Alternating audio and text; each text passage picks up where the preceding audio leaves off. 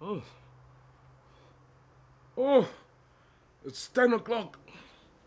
It's the news. Ah. Let me switch off the TV. Let Better go and sleep.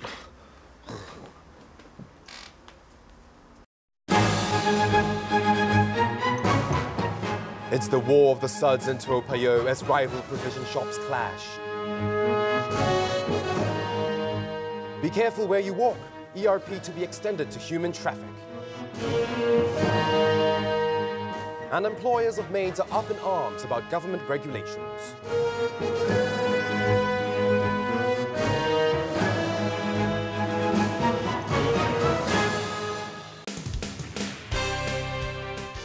Good evening, and you're turned on to the news. I'm BBC. It's tuned in. And I'm Adriana. Wow. Rhymes with cow. A spat in a suburb has blown into epic proportions. Two provision shops, each selling a unique brand of household cleaning detergents, are at loggerheads as each believes that their brand is the better one. The Papa Provision Shop is selling Action Gent, which it claims is the best product in the market. The Baby Blue Provision Shop is promoting their own house brand, Apogent, and it claims it's equally good, if not better, saying that ActionGent has been dominating the market for way too long already. This neighborhood brouhaha is attracting island-wide attention, as it appears to be more than just squabbling about washing liquid.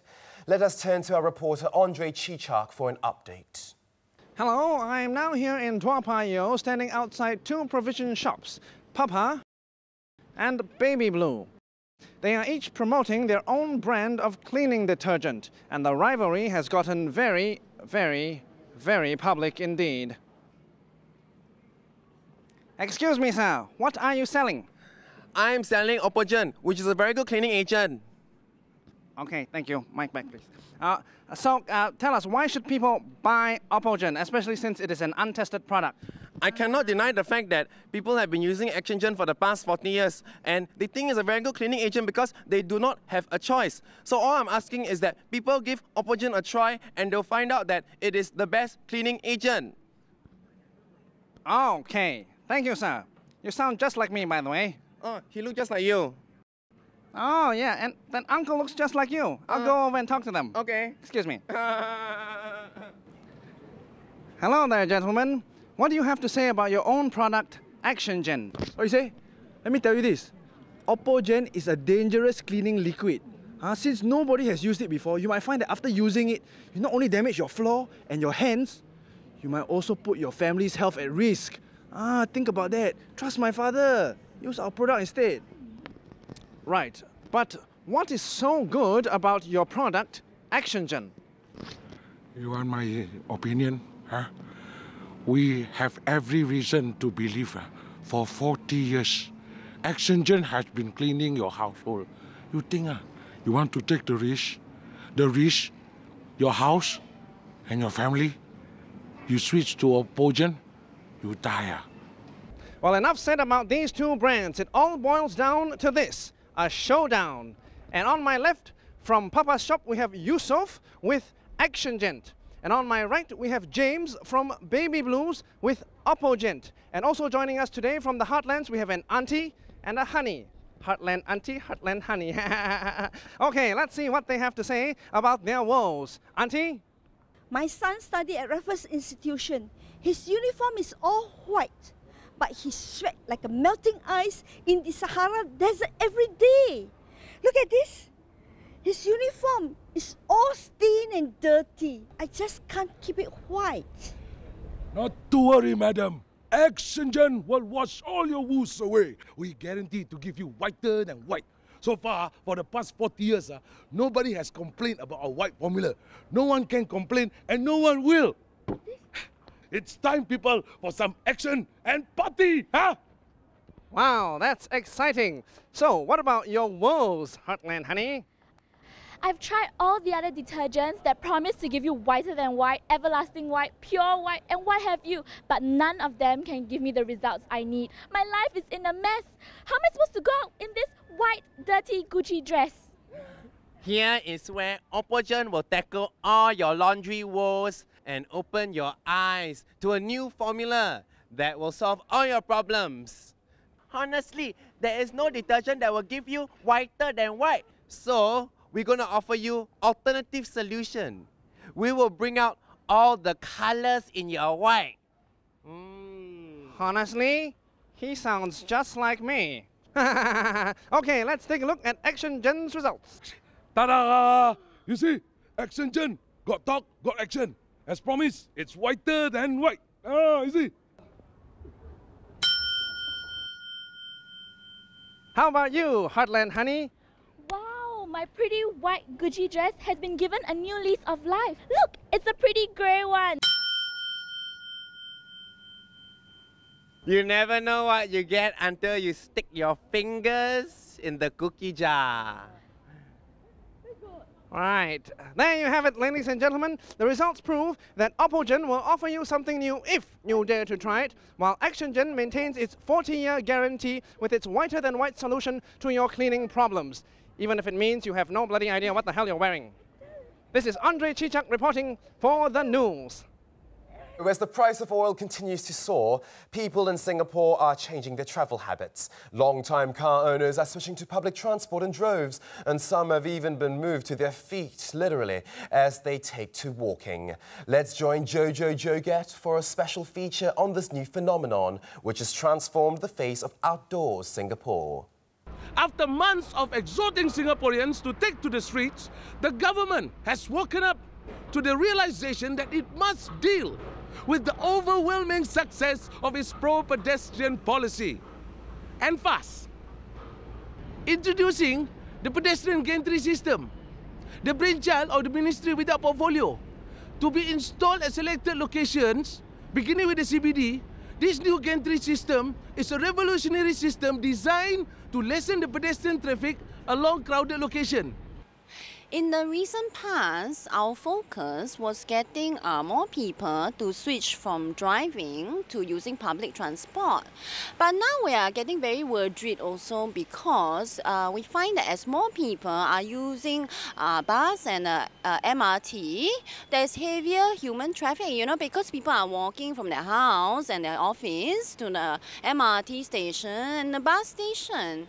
And uh, we also find that the optimal pedestrian speed of one person has dropped from uh, 5 km per hour now to 500 meters per hour now. Of course, this is unacceptable to us because uh, we pride, you know, ourselves as to be a very efficient country, right? So that's why now we implement this system. It's called the Human ERP system. Now, if you cannot remember, you can remember the short form. It's called herpes.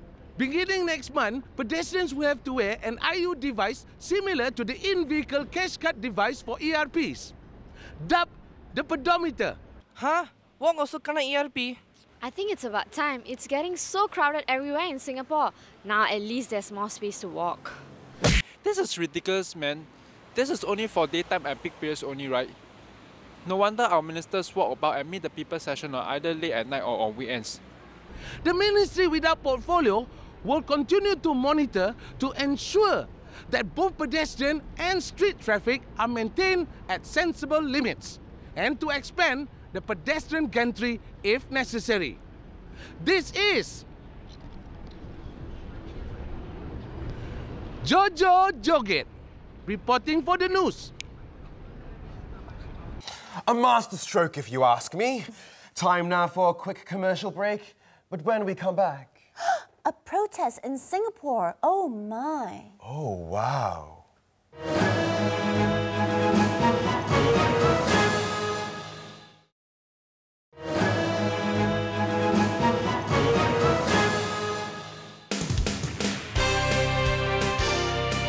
Welcome back. You're turned on to the news. It's tuned in. I said that. No, you didn't. I did. A mini protest was held today outside the Ministry of Foreign Workers by a group of very disgruntled employers. And their gripe? Their domestic workers got pregnant on their day off, and now the ministry wants to punish them instead of the domestic helpers. According to local employment laws, an employer pays a deposit to the government to ensure that their maids behave well. This is easy enough when the maids are working at home, but what about their behavior on their days off? Here's Jacques Wee. It's not fair. Change the law. It's not fair. Change the law. I am standing in front of the Ministry of Foreign Workers where a protest is underway. Let's speak to someone.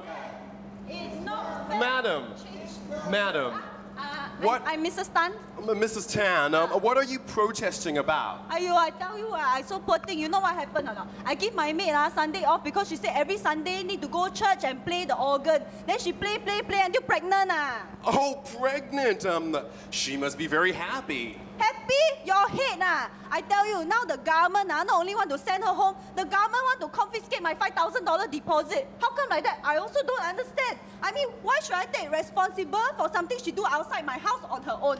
Well, this is indeed a bit of a legal conundrum. So we have with us today a legal expert, Mr. Sam Tamales, who will make a comment on this unique rule regarding an employer's responsibility over his maid during her day off. Hello, Mr. Sam Tamales.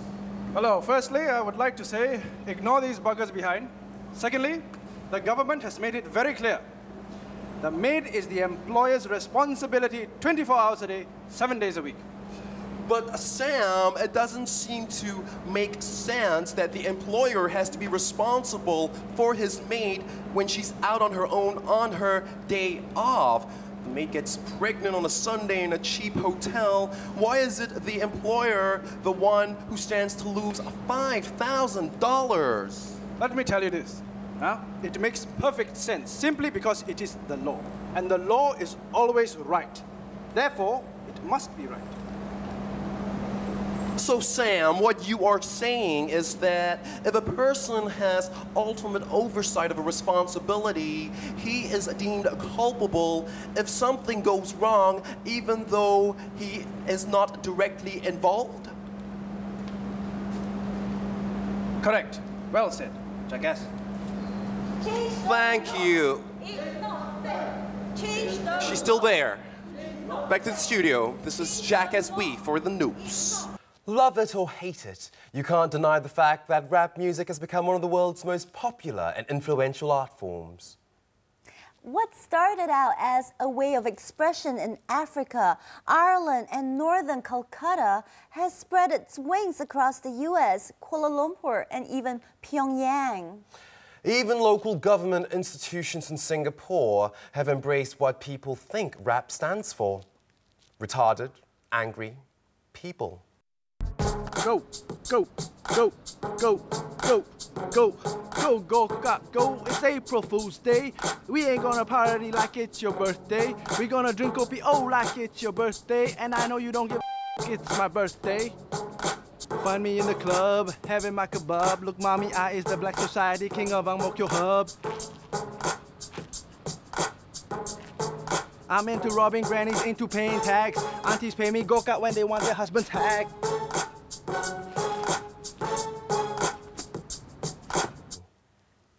Right. Joining us in the studio today is Singapore's very own rapper extraordinaire. He's produced three albums which have sold more than 30 copies worldwide. Welcome, Gorkak. Thanks, yo. Thanks. Yo, ah, yo. Yo, ah, yo. Yo, right. Okay, so, um, Gorkak, tell us more about the moniker Gorkak. Moni, what? You speak English, yo? Yeah, who's Monica? No, the. Please explain your name.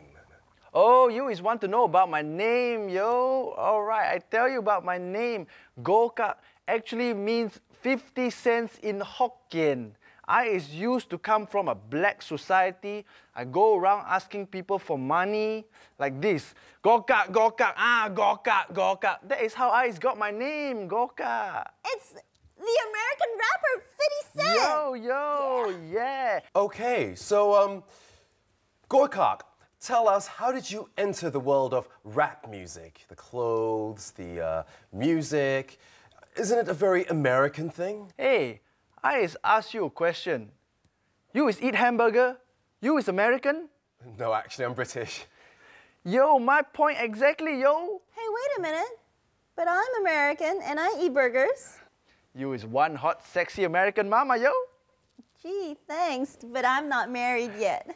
Well, anyway, moving along, um, you know, life in Singapore isn't really that bad. Surely you don't have as much to complain about as those people from the ghettos. I tell you, I used to live in Taman Jurong, yo. That place is like the Longkang, yo. Longkang? Projects, yo. Oh. It's all about survival, yo. The West Coast is a tough place to grow up, yo. When I was in school, yo, I was shot 11 times. What? By paper bullets. But I bounced back. I survived, yo. And that was my inspiration, yo, to speak out against the injustice of the system, yo. Okay, so Gokak, tell us more about your plans for the future, your new album, tour. I am producing now an album for a father and son rap duo, and it's called Down with the OPP.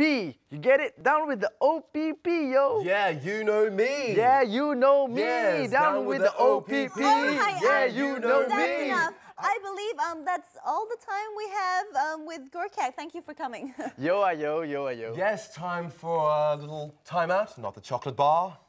Um, after the break, um, Jojo Joget gets cozy with DVD Pirates and JB. Stick around.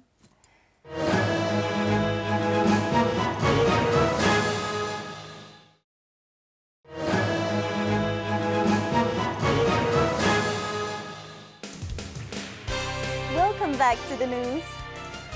Amidst all the recent buzz about Malaysia ending its petrol subsidies for Malaysian citizens, as well as not allowing Singaporeans to purchase the cheaper petrol across the border, a small but important announcement has been made that will severely impact the hordes of Singaporeans who travel across the border every day. The news of further subsidy cuts have rocked consumers both in the Malaysian Peninsula and Singapore. The Pirate Paikia Association of Malaysia, PPKM, who for years has subsidized the heavy costs of purchasing movie DVDs and VCDs from Hollywood and Hong Kong, has announced recent drastic measures to cope with the changing times. Here's Jojo Joget with the latest. For years now, Singaporean and Malaysian alike have been shopping for the latest DVDs and VCDs at highly discounted prices all across the country. However, all this is set to change as new measure by the Malaysian government to cut petrol subsidies and end purchase of cheaper petrol by Singaporeans has prompted the Pirate Paikia Association of Malaysia, or better known as PPKM, to announce that they too will follow government policy to increase prices. Uh, with me now is Mr. Lim Along, uh, President of the PPKM, one of the key figures uh, who have taken drastic measures to increase the cost of purchasing DVD and VCDs. Uh, Mr. Lim, uh, can I ask you a question? Uh, why is your association uh, decided to take this drastic measure to increase the price? Hey, you think what? You think we don't support the Malaysia government, is it? Huh? All you Singaporean uh, only know how to come here and take our thing. First you take our water, then you take our petrol, then our sand also you want to take. Oh, last time uh, we said never mind uh, because we give you a little bit discount here, discount there. But now uh, we have the clear direction from the government. Uh, no more subsidy for you. so does this mean that the Malaysian can buy this uh, high quality DVD and VCD at discounted price? oh, uh, actually no. Uh. They also have to pay the same high price. Oh, I see, I see, Mr. Lim. So it seems like this is just a general price hike to maintain profits. Uh, or better, you know, you it's a way to make better profits. Uh. Got nothing to do with the changing time. Hey, before I get my guys to go to your house to visit you, you better shut up. Huh? We are just following in the government example. Okay? Your government also same what? Singapore government also increase everything. Increase the ERP, increase the taxi, increase the rice. Everything also increase what? So why you come here and complain about our business method? Huh? Why, you scared to complain about your own Singapore government, is it? Huh? Scared? Uh, uh, uh, that's all from me, Jojo Joget, reporting for the news. Why you scared? No, no. You scared? You scared? You scared? Time now for a quick weather update with Tan Tertio. Hello, hello. Uh, okay. Ah, ah, thank you, uh, Cik Adri, uh, Anna, and uh, Bibi. Huh? Uh, hello, uh, brother, sister, uh, uncle, auntie, uh, uh, grandfather, grandmother, sister-in-law. How are you? Uh, okay, good, good. Uh, how's it? Uh, good, good, good. All right. Uh, okay. Uh, let me now get to serious business. Huh? Uh, let me now give you the Singapore weather report. Uh, the weather. Hey, please now. Huh? Let, let come, come. I, I, let me discuss with you something. Huh? Ladies and gentlemen, what are you expecting from the Singapore weather? Huh? Tomorrow, let's say, huh? snow. Huh? You expecting snow? Huh? Or, or 20 degrees Celsius? Please lah. Huh? Singapore, the aircon bus also no 20 degrees Celsius. No? Also 30 degrees Celsius. You know? huh? See, you all caught into uh, paying the extra money uh, for the aircon bus then? Bo aircon. How can I that? Huh? Actually, let me be more steady. Huh? Let me now show you the Singapore weather report for the three next 300 years. Huh? The next 300 years, Yishun, huh? hot, humid. Then, next 300 years, Queenstown, hot, humid. And then you move to the Jurong West, 300 years, Monday or Thursday, hot, humid. And then you go to Pasir Ris. Repeat after me. Hot, humid. Yes, very good. So I think after I do this, uh, the, the, the TV show can just play, repeat, repeat this every day. Uh, huh? Because the weather all the same one. Uh. Uh, so just remember, before I go, I give you a piece of advice. Huh? In Singapore, don't listen to the newspaper say you are sloppy dresser. In Singapore, it's very hot, wear less. Actually, don't wear even better. Huh? but don't wear cannot huh, after the police catch. So wear, uh, wear, wear very little. Uh, huh? And if you are a girl, uh, they call it me sexy dressing. Huh? So be sexy. Huh? Sexy, sexy, uh, steady boom, pee. Okay, uh, okay, okay, okay. Isai, Isai. Okay, I know, I know. Okay, so uh, ladies and gentlemen, for the next 300 years, you will see this same show. Uh, so uh, good night and I'll pass it over now to my Jakantang friend, Eat Potato, Adriana, and uh, Bibi. Thank you, Tanto Tio. That's it for this edition of the news. Please remember to check our website for more news updates. And my personal website too. Well, be sure to join us next week. Till then, I'm Adriana. Wow. And BBC signing off. Bye-bye. Goodbye hmm. down with OPP. Yeah, you know me. Down with OPP. Yeah, you know me. Down with OPP.